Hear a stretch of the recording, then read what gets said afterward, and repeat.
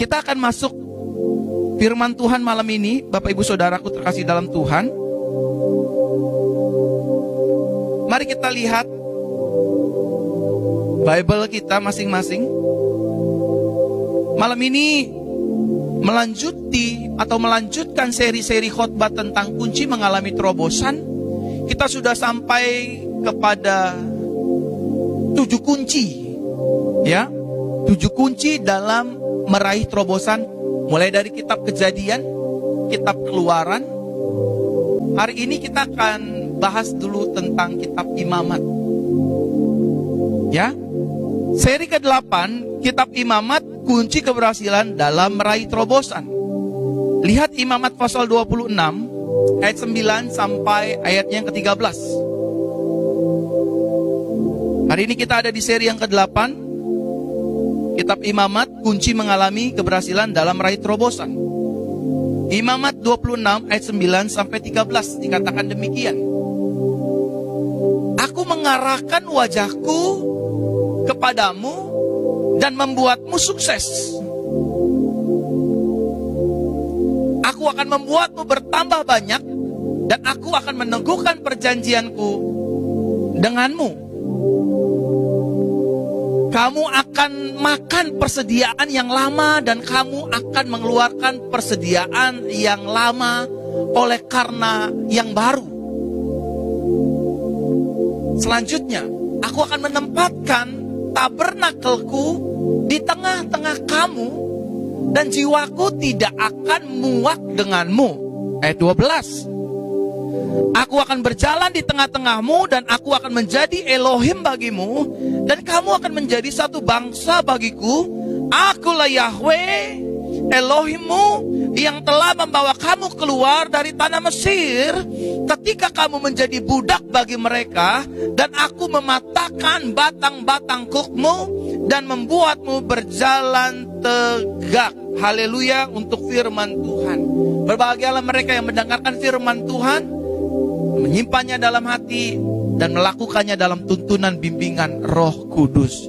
Bapak Ibu, saudaraku terkasih dalam Tuhan, sebelum umat Israel meraih yang namanya terobosan, maka Tuhan mempersiapkan umat Israel dengan sedemikian rupanya.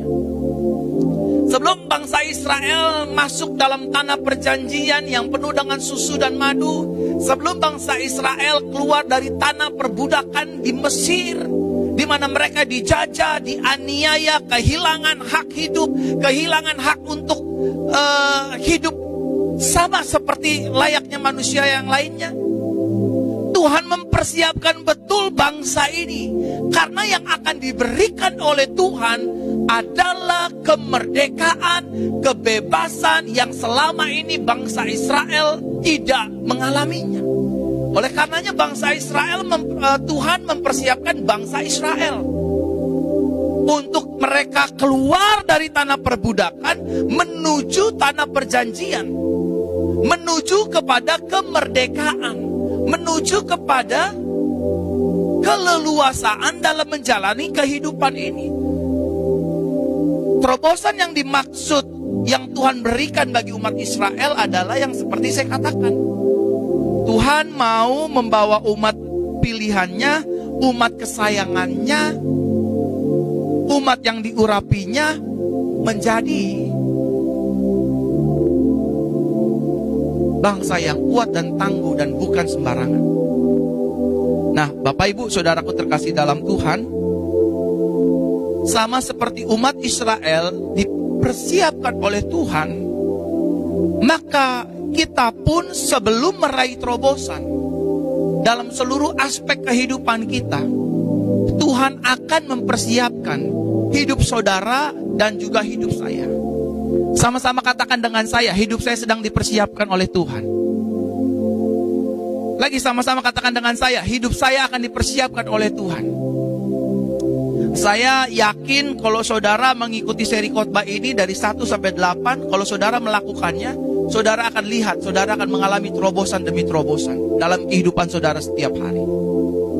Tuhan sedang mempersiapkan hidup kita sama seperti Tuhan sedang mempersiapkan umat Israel untuk keluar dari tanah perbudakan. Mereka hidup dalam kemerdekaan, mereka akan hidup dalam keleluasaan. Karena Tuhan yang berjanji, kalau aku yang berjalan di depanmu, maka gunung-gunung, pintu tembaga, tembok tembaga, palang-palang besi tidak bisa menghalanginya. Karena aku Tuhan yang berkuasa atas alam semesta. Pun demikian hidup saudara dan saya pada hari ini.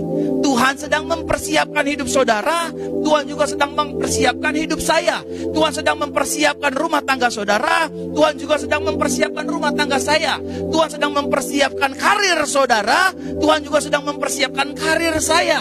Tuhan sedang mempersiapkan anak-anak saudara, Tuhan juga sedang mempersiapkan anak saya. Tuhan juga yang sama Yesus namanya sedang mempersiapkan pelayananmu, dan Tuhan Yesus juga yang sama sedang mempersiapkan pelayanan kita. Dia ingin mempersiapkan kita untuk meraih janji-janjinya, meraih terobosannya, meraih kerinduannya, meraih segala yang terbaik yang Tuhan sediakan, yang Tuhan janjikan melalui kitab suci yaitu firman Tuhan yang hidup. Haleluya. Haleluya. Sama-sama katakan dengan saya, hidup saya sedang dipersiapkan oleh Tuhan. Pertanyaan besarnya saudaraku terkasih dalam Tuhan. Mengapa Tuhan harus mempersiapkan hidup kita dalam meraih dan menerima terobosan? Kenapa Tuhan harus repot-repot mempersiapkan hidup kita? Kenapa Tuhan harus repot-repot mempersiapkan pelayanan kita? Kenapa Tuhan harus repot-repot mempersiapkan attitude kita? Karakter kita, tutur kata kita, tindak tanduk kita, cara berpenampilan kita. Jawabannya sederhana, karena Tuhan ingin bawa saudara dan saya naik ke level-level yang luar biasa di dalam segala perkara. Yang setuju katakan amin. Amin. Big questionnya adalah kenapa Tuhan harus mempersiapkan hidup kita? Kenapa Tuhan harus repot-repot? Kenapa Tuhan harus detail mempersiapkan hidup kita? Saya diajar oleh Roh Kudus melalui firman ini, melalui kisah bangsa Israel. Jawaban yang pertama mengapa Tuhan harus mempersiapkan hidup kita dalam meraih dan menerima terobosan. Yang pertama, agar kita lebih dewasa dan matang dalam segala hal. Sama-sama katakan dengan saya, Tuhan mau saya matang dan dewasa dalam segala hal. Amin. Sama-sama sekali lagi katakan dengan saya. Tuhan mau hidup saya matang dan dewasa dalam segala hal. Kenapa Tuhan mau saudara dan saya dewasa dan matang dalam segala aspek? Karena ada banyak anak Tuhan Waktu dia menerima terobosan, waktu dia menerima berkat, waktu dia menerima kelimpahan, waktu dia menerima promosi, waktu dia menerima janji Tuhan, waktu dia diangkat karirnya, diangkat keuangannya, diangkat pelayanannya. Maafkan saya, fakta di lapangan banyak di antara anak Tuhan tidak dewasa, tidak matang dalam menjalani terobosan tersebut. Oleh karenanya saudara yang dikasihi, saya yang dikasihi oleh Tuhan. Tuhan mau mempersiapkan supaya saudara dan saya menjadi pribadi yang matang. Supaya saudara dan saya menjadi pribadi yang dewasa. Sehingga kita ketika diberkati, kita tidak menjadi congkak. Ketika kita diberkati, kita tidak menjadi arogan. Ketika kita diberkati, kita tidak selingkuhi istri kita. Ketika uang kita sudah makin banyak, kita nggak ngerasa kita yang penguasa dunia ini. Ketika kita dipercayakan gereja yang besar, jemaat yang banyak, kita nggak menyanyi apa yang sudah Tuhan beri. Ada banyak orang hanya ingin meminta Tuhan buat saya kaya. Tuhan tolong promosikan saya. Tuhan tolong angkat usaha saya. Tuhan tolong berkati saya. Buat Tuhan itu sangat kecil. Seperti membalikan dan menjentikan jari tangannya. Tuhan cuma bilang begini doang, jadilah. Jadi saudara. Tapi permasalahannya adalah bukan hanya ada di Tuhan, masalahnya ada di kita. Kalau kitanya belum matang, kalau kitanya belum dewasa, terus tiba-tiba kita mendapatkan terobosan, mendapatkan anugerah, terobosan dalam segala aspek, tiba-tiba keuangan kita berkelimpahan, tiba-tiba ekonomi kita berkelimpahan, tiba-tiba nama kita diangkat, tiba-tiba kita menjadi orang yang masyur, tiba-tiba usaha kita dikenal banyak orang, usaha kita laku keras dan lain sebagainya, pelayanan kita dikenal banyak orang. Kalau kita tidak dewasa dan matang, maafkan saya. Kita tidak akan memberkati Tuhan. Artinya kita tidak akan menjadi berkat bagi nama Tuhan.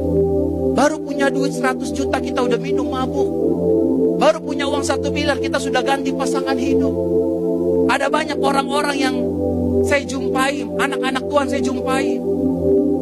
Dulu karirnya, aduh jelek sekali. Tapi ketika Tuhan menyertai, Tuhan mengurapi tangannya sampai dia mendapatkan sabuk-sabuk juara. Dia lupa. Dia lupa sama istrinya yang waktu ketika susah, istrinya yang mendampingi, istrinya yang menemani, istrinya yang mengeroki, istrinya yang pijitin, istrinya yang menemani. Dia lupa waktu ketika dia, menjadi juara, menjadi juara uh, nasional, dia lupa sama istrinya. Dia pergi dengan wanita lain. Nah ini namanya nggak dewasa, saudara. Ini namanya lupa akan Tuhan. Dan hal-hal seperti ini memalukan dan memilukan Tuhan. Saudaraku terkasih dalam Tuhan. Ada banyak orang berdoa sama Tuhan. Tuhan pakai saya, pelayanan saya buat besar. Pakai saya ke bangsa-bangsa dan lain sebagainya. Tahu apa yang terjadi ketika itu semua terjadi?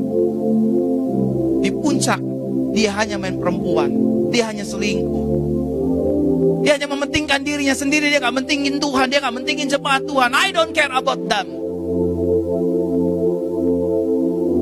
Saya hanya peduli dengan hidup saya sendiri. Inilah ciri-ciri orang yang gak dewasa. Inilah ciri-ciri orang yang gak matang. Baru usahanya laku sedikit dikenal banyak orang. Viral gitu istilahnya ya. Minum mabuk sama teman-temannya. Bir berkerat-kerat. Udah besok usaha kita udah laku kok tenang aja. Bos, baru dipercayain 200 juta. Udah begini kelakuannya, apalagi dipercayain 200 miliar. Oleh karenanya sebagai anak Tuhan kita sama-sama Saudara dan saya harus matang. Saudara dan saya harus dewasa. Karena Tuhan sedang mempersiapkan kita. Gak apa-apa lama, yang penting indah pada waktunya Tuhan. Amin saudara. Saudara tahu gak kisah Tuhan Yesus Kristus? Tuhan Yesus Kristus mulai pelayanan usia 30 tahun. Sampai usia 33 tahun setengah. Nah usia 12 tahun Yesus ada di bait Elohim. Bersama pemuka-pemuka agama. Dari 12 ke, ke 30 tahun ada jeda berapa berapa lama itu? Ada 18 tahun. Ada 18 tahun saudara. Yesus harus menanti, Yesus harus menunggu. Yesus nggak gerabak-gerabak saudara. Yesus nggak buru-buru, Yesus menanti dengan sabar. Perintah Bapaknya, Yesus menanti dengan sabar. Waktunya, in His time, not our time. Bapak Ibu Saudaraku terkasih dalam Tuhan. Tahu apa yang terjadi? Kitab suci mengatakan, Yesus semakin besar dan semakin dikasihi manusia dan semakin juga dikasihi oleh Elohim. Amin. Harus matang dulu. Harus dewasa dulu. Matang dan dewasa nggak bicara tentang usia saudara. Ada banyak orang usianya 37, 47, 57, 67. Usia hanya sebatas angka. Tapi kedewasaan, kematangan dapat terjadi ketika kita mengerti kehendak dan rencana Tuhan.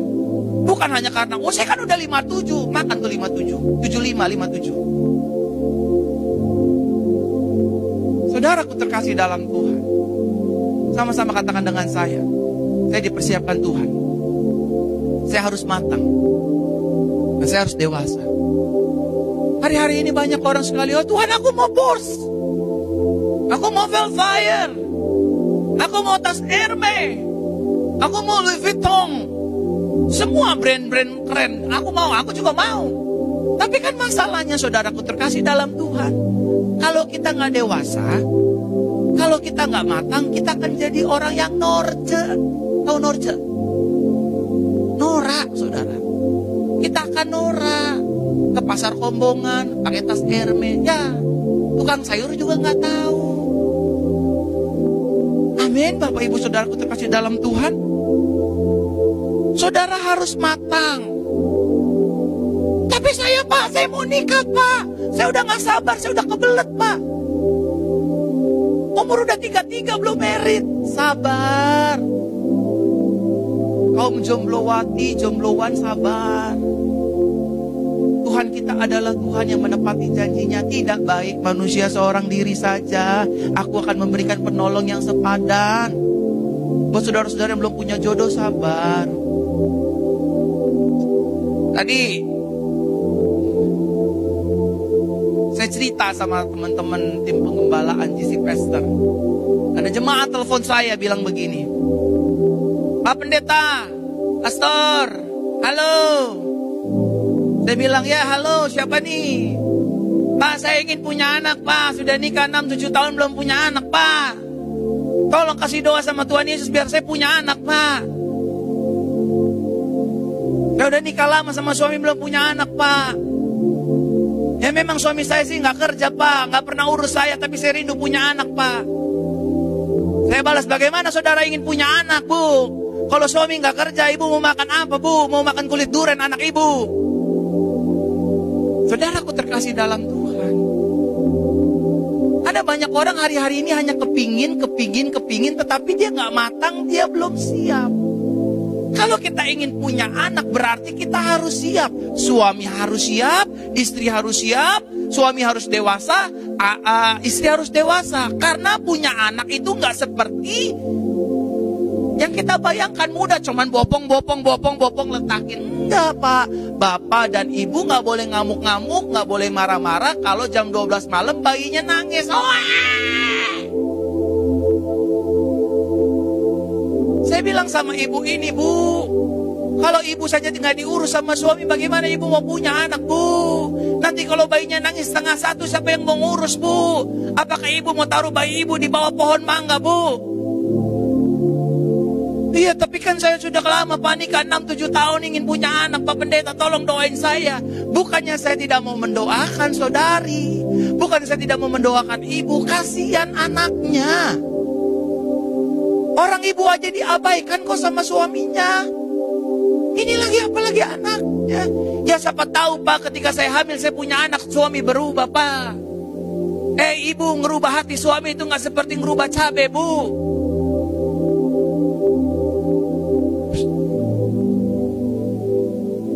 Saudaraku terkasih dalam Tuhan.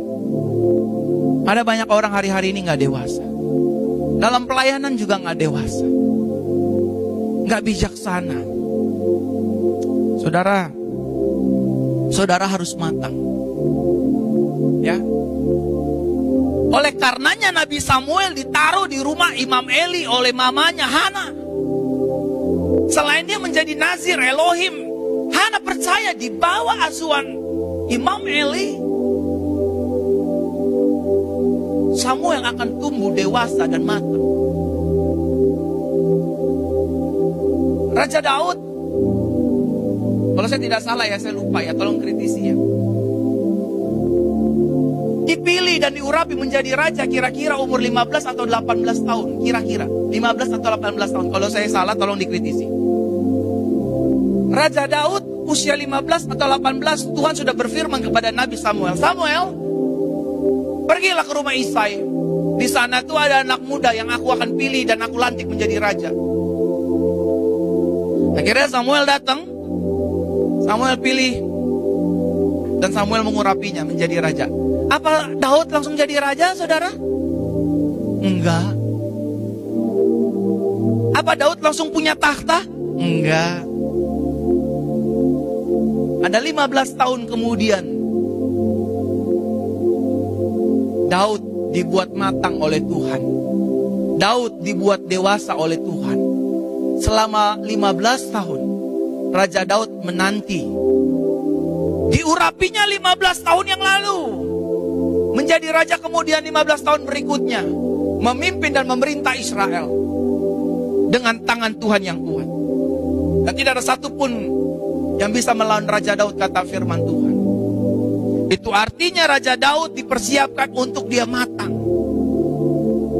Saudaraku terkasih dalam Tuhan. Alasan mengapa Tuhan harus mempersiapkan hidup kita dalam meraih dan menerima terobosan. Agar kita matang dan dewasa.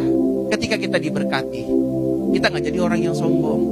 Ketika gereja kita besar, kita nggak akan lihat orang, hmm, gereja kecil ya, gereja sampah ya, najis.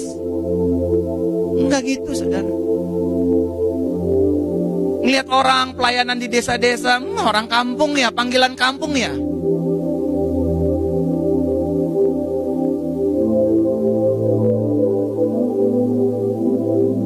Dipersiapkan Tuhan cukup lama, saudara. Dari 16-17 tahun yang lalu. Untuk menjadi seorang pendeta, untuk menjadi seorang gembala, untuk menjadi seorang penginjil. Tidak satu hari. Lama sekali.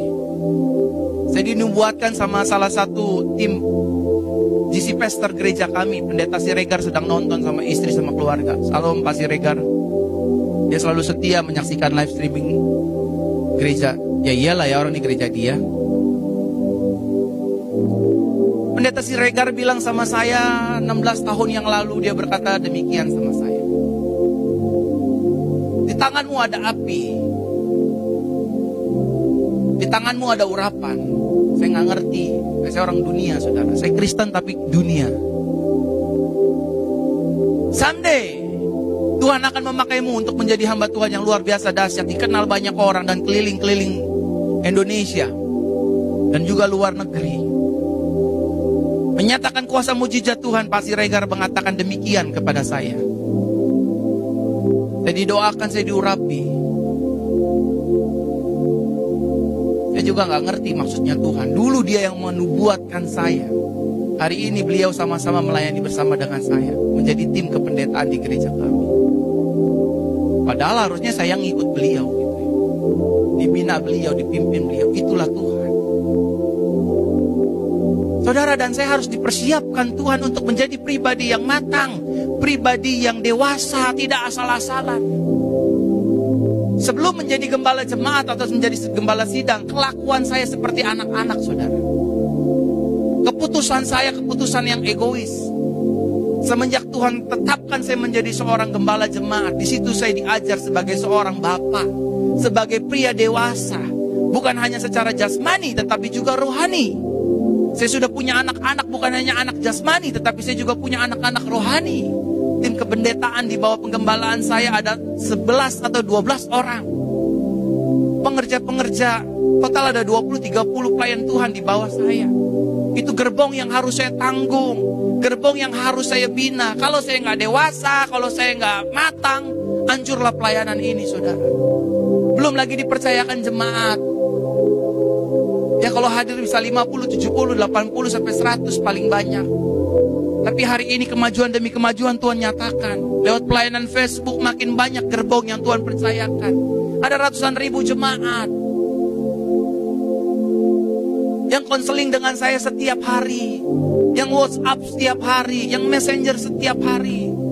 Saya bilang sama Tuhan kemarin, Tuhan, yang Messenger saya ini kacau Tuhan, sehari lebih dari 150 orang.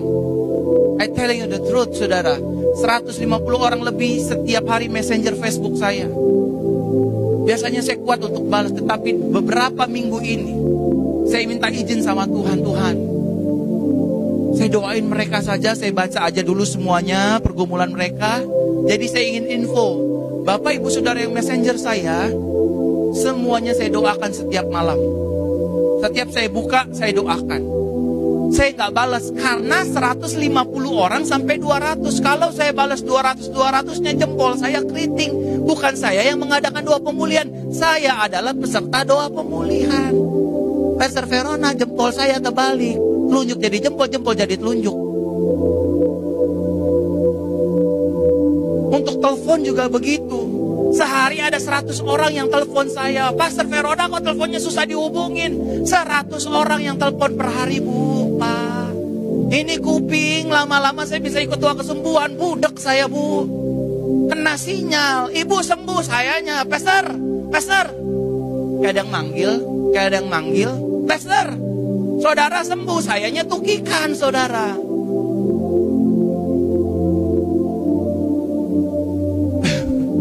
Tukikan tuh it's mean uh, kuping berair. Congs, bahasa orang-orang villagesan. Bagaimana saya menyelesaikannya? Saya minta hikmat Roh Kudus, Roh Kudus. Dan ibu gembala, istri saya, itu suka marah-marahin saya. Kenapa nggak buka telepon hari ini? Kenapa nggak layani telepon hari ini? Kenapa nggak terima telepon hari ini? Cuma 10, 20 orang, 10, 20 orang. Kan yang mau telepon banyak. Saya bilang sayangku, cintaku, belahan jiwaku, permata hatiku. 100 orang gue tempelin di sini, bos. Orang sembuh, saya jalannya uklek. Akhirnya saya buka tutup. Bapak ibu saudara nggak usah takut. Bapak ibu saudara WA saja. Telepon saja. Kalau dibales agak lama, ya maklum lah Bapak Ibu. Ada 2000 orang yang WA, bales satu-satu. Tim pendeta saya itu bukan gurita. Tim pendeta saya itu bukan tentakel, jarinya banyak, bukan spider. Satu-satu, satu orang pegang 100, itu pun kalau mampu, insya Allah. Kalau bisa, saudara. Makanya saya di, diberikan hikmat sama Tuhan. Bagaimana melayani jemaat yang ratusan ribu ini. Saya didewasakan oleh Tuhan dalam pelayanan doa kesembuhan. Jujur dari hati yang dari hati saya yang paling dalam jujur saya melihat teman-teman pendeta saya yang pelayanan kesembuhan, pelayanan mujizat, kok mereka dengan enaknya ya Tuhan, habis pelayanan minta uang, habis pelayanan nodong jemaat, habis doa kesembuhan nodong jemaat persembahan ini dan itu dan lain sebagainya. Kok saya nggak berani ya karena kamu sedang dipersiapkan untuk tulus dalam untuk menerima apa yang kuberikan cuma-cuma, kamu juga harus memberikan cuma-cuma. Saya sedang dipersiapkan. Bahkan saya sedang mempersiapkan ibadah-ibadah akbar, doa pemulihan. Kami butuh dana 100 juta saudara setiap tahunnya untuk mengadakan event besar doa kesembuhan dan doa pemulihan bagi jemaat seluruh manusia apa pun kepercayaannya. Kami lagi nyari tempat, kami lagi nyari venue, after this pandemic semuanya sudah berakhir. Kita akan buat KKR sama-sama. Kami lagi siapkan dananya 100 juta. Saya nggak mau minta-minta sama saudara. Saya bilang sama tim keuangan tolong disiapkan. Berdoa sama Tuhan supaya Tuhan memberkati. Tujuannya 100 juta ini untuk membuat ibadah kesembuhan, ibadah pemulihan untuk orang Islam, untuk orang Hindu, untuk orang Buddha, untuk orang Kristen, untuk orang Kongfucu, bukan menginjili mereka, bukan mengkristenan mereka, agar mereka ketemu Tuhan yang benar. Saya nggak akan suruh mereka masuk gereja atau pindah agama, biar Tuhan yang beracara. Saudara, dan saya bilang sama Tuhan, 100 juta ini uang yang kecil, tapi juga besar untuk dicari. Dan kita, ibadah kita tidak akan menjalankan persembahan. Saudara bagaimana keluar 100 juta nggak boleh jalanin persembahan. Kalau saudara mau kasih ya kasih. Kalau saudara nggak mau kasih puji Tuhan. Karena hidup kami bukan dari persembahan. Hidup kami karena janji Tuhan itu orang yang sudah didewasakan oleh Tuhan. Kami kami cek-cek tempat, ada JCC Plenary Hall. Kami cek-cek semua tempat yang mewah-mewah untuk Tuhan, untuk jemaat Tuhan. Karena pelayanan harus yang terbaik. Amin Bapak Ibu Saudara. Udah saudara nanti tinggal datang, tinggal doain Pastor Verona dan tim untuk dananya semuanya terkumpul. Agar saudara datang gak usah takut ditembakin. Di setiap ibadah yang saya pimpin tidak saya meminta-minta persembahan. Mau kasih persembahan praise the Lord. Gak mau kasih persembahan juga praise the Lord. Yang penting jemaat merasakan anugerah Tuhan. Yang setuju kasih tepuk tangan di rumah masing-masing. Yang kedua, Bapak Ibu Saudara, mengapa Tuhan Yesus har, eh, mengapa Tuhan harus mempersiapkan hidup kita dalam meraih dan menerima terobosan? Yang kedua, agar kita pada akhirnya dapat mempermuliakan nama Tuhan. Sama-sama katakan dengan saya, hidup saya harus mempermuliakan nama Tuhan. Kalau kita kaya akan mempermuliakan nama Tuhan, buat apa saudara? Kalau pelayanan kita terkenal, kalau tidak mempermuliakan nama Yesus, buat apa? Kalau kita bisa jalan-jalan ke seluruh negara di dunia ini, kalau tidak mempermuliakan nama Yesus, for what? Kita kitab suci mengatakan demikian, segala yang kujadikan, yang kuciptakan hanya untuk kemuliaan namaku. Jadi kita ada for his glory, untuk kemuliaan namanya. Bukan untuk saya dilihat hebat, bukan hanya dilihat, wah Pastor Verona dikenal banyak orang. Enggak. Apakah saya mempermuliakan Tuhan? Enggak. Apakah saya mempermuliakan nama Yesus? Enggak. Saya diberikan karunia kesembuhan, saya diberikan karunia mujizat. Tujuannya untuk kemuliaan nama Tuhan. Bukan saya cari duit, bukan saya cari follower, bukan cari apalagi ya, ketenaran, keviralan. Karena saya percaya semua itu pasti ada waktunya. Amin. Oleh karenanya saya mau mempermuliakan nama Tuhan. Amin.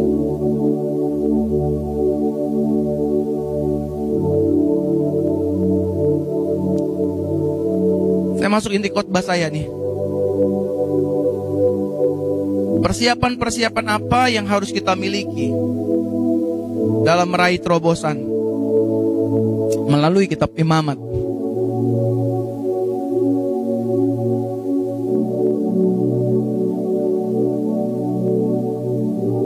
Persiapan-persiapan apa yang harus kita miliki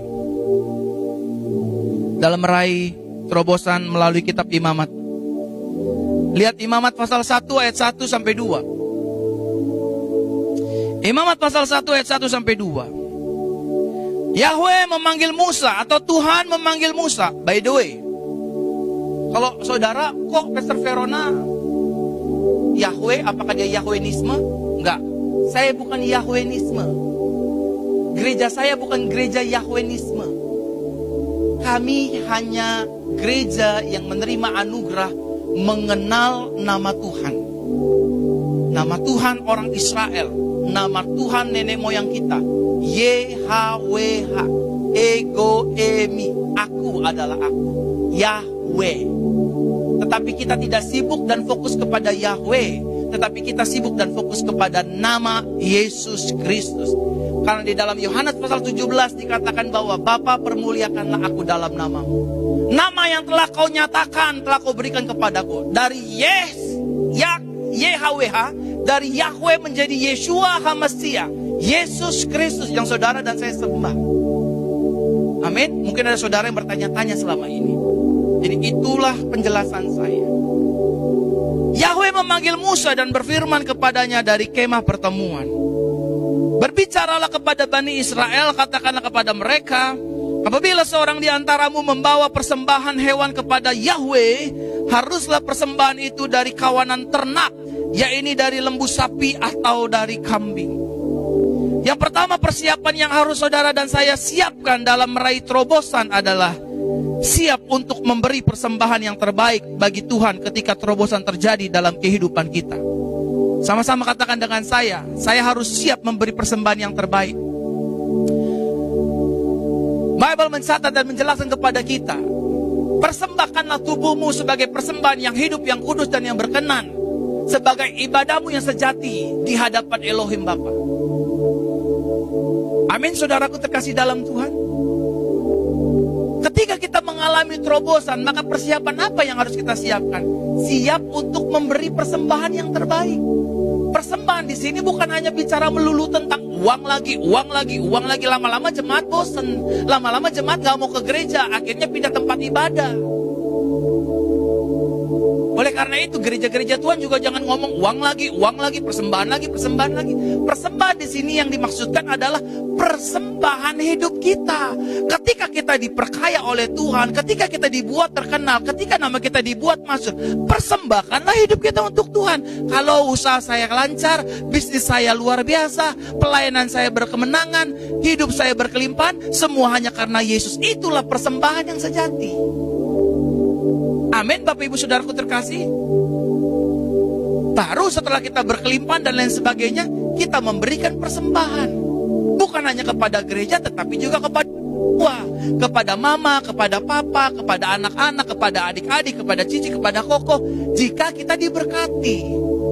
Ada banyak orang diberkati lupa orang tua, lupa anak, lupa istri, lupa suami, lupa orang di sekitarnya, bahkan lupa akan gereja Tuhan. Saudaraku terkasih dalam Tuhan, mari persiapkanlah persembahan yang terbaik bagi Tuhan ketika terobosan terjadi. Dalam keluarga contohnya suami istri rindu punya anak udah nikah 5, 6, 7 tahun, 8 tahun, 10 tahun, 15 tahun gak punya anak. Tiba-tiba Tuhan buat mukjizat. Ya persembahkan anakmu kepada Yesus. Jadikan anakmu nazir Tuhan. Nazarnya Tuhan, Tuhan. Saya kan udah difonis dokter nih nggak bisa punya anak. Saya kan punya kekurangan dalam kandungan saya. Eh tiba-tiba saya hamil. Eh hamil saya itu normal. Eh hamil saya itu sehat dan saya bisa lahiran secara normal. Sekarang saya udah punya anak cowok ganteng lagi Tuhan. Tadinya saya nggak punya anak. Nah anak itu maksudnya persembahkan untuk Tuhan. Talenta kita kita persembahkan untuk Tuhan. Semua yang kita miliki kita persembahkan untuk Tuhan termasuk juga keuangan kita. Bukan melulu di gereja tetapi tolonglah orang tua kita, tolonglah anak-anak kita, tolonglah saudara-saudara kita, tolonglah sepupu kita, tolonglah orang di sekitar kita. Kalau kita berkelimpahan mulai sisihkan saudara. Amin.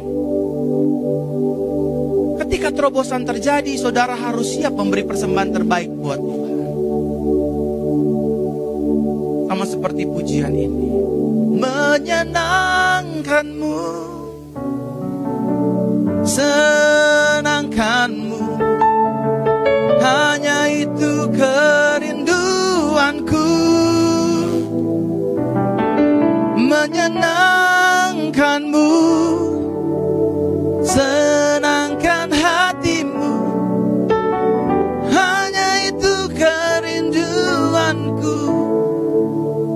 persembahan yang terbaik buat Tuhan. Jangan pelit. Uang gak dibawa mati. Saudara saya bilang sama tim penggembalaan gereja kami Jesus Christ Church Saya berdoa sama Tuhan. Saya bilang sama Tuhan Tuhan Melalui gerejamu ini Akan lahir yayasan. Melalui gereja JCC ini akan lahir sekolah. Saya mau gratisin sekolah buat orang-orang yang susah untuk bayar sekolah.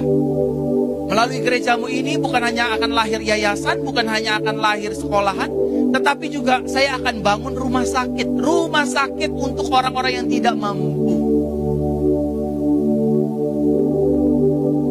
Saudara, mulai belajar punya hati untuk memberi yang terbaik. Dan saya juga ingin membuat UMKM kecil, mikro ataupun makro. Nanti gereja yang akan modalkan mereka semua yang akan menjalani jemaat-jemaat Tuhan supaya mengurangi pengangguran pengangguran yang ada.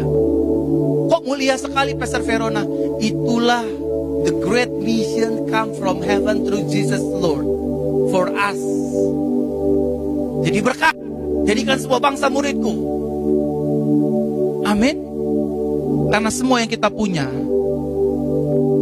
nggak kita bawa ke dalam liang kubur.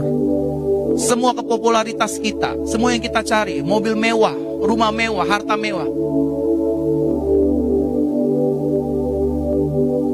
Kita datang nggak bawa apa-apa, kita pulang ke surga juga nggak akan bawa apa-apa. Hanya membawa pertanggungjawaban saja. Oleh karenanya saya mau beri yang terbaik buat Tuhan.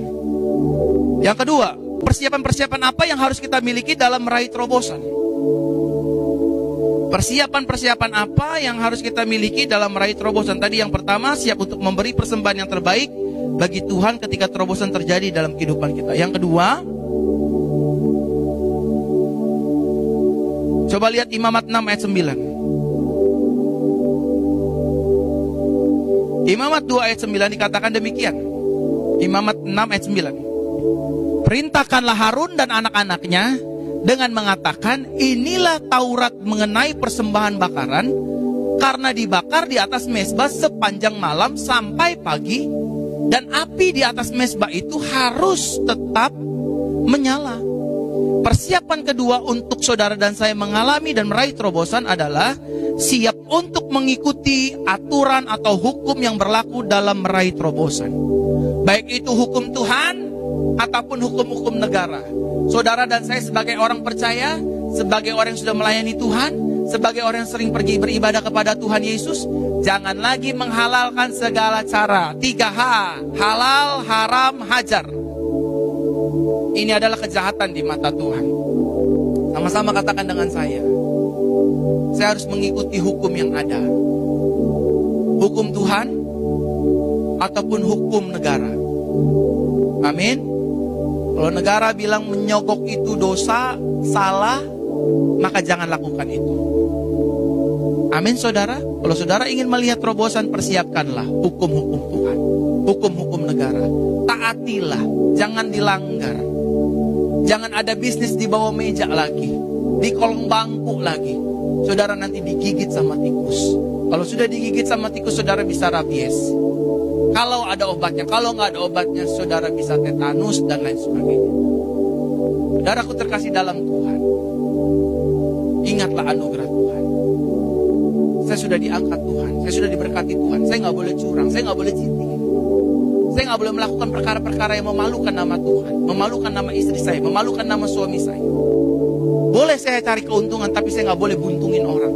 Saudara terkasih dalam Tuhan. Yang kedua, saudara dan saya harus mengikuti peraturan ketetapan hukum yang ada. Dan yang terakhir, yang ketiga, saudara. Persiapan-persiapan apa yang harus kita miliki dalam meraih terobosan? Imamat pasal 8 ayat 1 sampai 2 dikatakan demikian. Imamat pasal 8 ayat 1 dan 2. Berfirmanlah Yahweh kepada Musa, dengan mengatakan bahwalah bawalah Harun dan anak-anaknya bersamanya juga pakaian minyak urapan dan seekor lembu jantan muda persembahan penghapus dosa serta dua ekor domba jantan dan seranjang roti tidak beragi firman Tuhan mengatakan bawalah Harun bawalah Harun dan anak-anaknya bersamanya juga pakaian minyak urapan artinya yang ketiga persiapan yang harus kita siapkan, kita miliki ketika kita ingin mengalami terobosan. Yang ketiga, yang terakhir, siap untuk dipercaya lebih oleh Tuhan melalui sesama kita. Siapa pun kita, apa pun jabatan kita, baik dalam itu di pelayanan ataupun di kerja hari-hari, siap untuk dipromosikan Tuhan. Siap untuk diberkati Tuhan lewat sesama kita, lewat pimpinan kita, lewat gembala kita, lewat bos-bos kita. Siap aja dulu, saudara. Gak usah ngegerutu, siap saja dulu. Tapi saya nggak mampu, Pak. Saya nggak mampu, Pastor, menghandle pekerjaan ini, menghandle jabatan ini, menanggung tugas ini dalam pelayanan, dalam kantor, dalam karir, dalam bisnis. Gak apa-apa, gak sanggup. Gak apa-apa, saudara nggak mampu. Justru karena ketidaksanggupan saudara, justru karena ketidakmampuan saudara, Tuhan kita yang sanggup, Tuhan kita yang mampu akan memampukan kita untuk menjadi orang yang dapat dipercaya. Yang setuju katakan amin. Amin. Amin saudara. Yang penting yang harus kita lakukan adalah tetaplah setia. Pelaku lihat kebaikanmu yang tak pernah habis di hidupku. Ku berjuang sampai akhirnya kau dapati aku tetap setia. Dipercayakan di kantor puji Tuhan terima. Yang penting kita jangan angkat diri kita. Yang penting kita jangan promosikan diri kita kepada pendeta kita, kepada gembala kita, kepada pemimpin kita, kepada rekan bisnis kita. Gak usah promosi diri. Karena promosi datang dari Tuhan. Kemuliaan datang dari Yesus. Peninggian datang dari Yesus. Kita diangkat oleh Yesus. Yang penting kita setia menjalankan apa yang sudah Tuhan percayakan. Talenta apa yang sudah Tuhan titipkan bagi kita. Setia saja. Nanti Tuhan yang akan mengangkat kita. Pak, tapi saya nggak bisa, Pak. Saya dipercayakan oleh gembala saya untuk menjadi worship leader. Saya nggak bisa, Pak. Justru engkau nggak bisa. Engkau berserah kepada Tuhan dan engkau akan menjadi bisa. Pak, saya nggak bisa, Pak. Harus jadi GM di kantor saya, Pak. Saya nggak ngerti, Pak. Minta sama Tuhan tutup mata lipat tangan berdoa. Roh Kudus pimpin bimbing langkahku. Aku percaya kalau Tuhan di pihakku siapa yang dapat mengalahkannya. Berkati aku ya Tuhan. Nah, ketika saudara mempersiapkan semua yang sudah Tuhan ajarkan, maka Tuhan berjanji akan memberikan terobosan dalam kehidupan kita. Tuhan memberkati Bapak Ibu Saudara. Amin untuk kebenaran firman Tuhan hari ini.